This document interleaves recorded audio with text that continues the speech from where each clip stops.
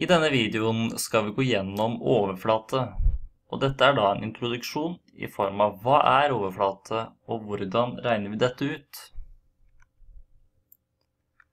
Vi har tidligere vært inne på oppgaver hvor vi har regnet ut arealet av flater. De figurene vi nå har regnet ut volumet består også av flater, bare at de er satt sammen. Altså, vi har nå gått gjennom ulike typer figurer og regnet volumet av de. For eksempel denne figuren her, som også er kjent som et rett firkantet prisme. Vi har lært å regne ut volumet av den, men vi har også tidligere lært areal.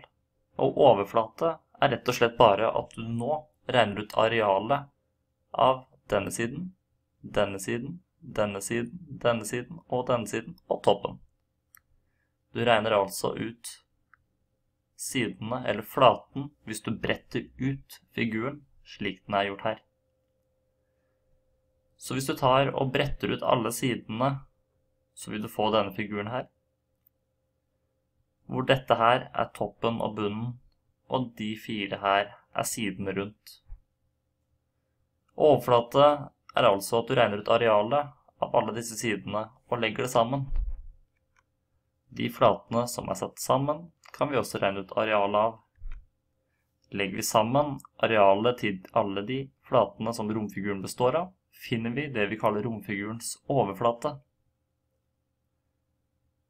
Det vil altså si at vi må ha tunga rett i munnen når vi skal da finne ut arealet av hver enkelt del, for så å legge det sammen og kalle det figurens overflate.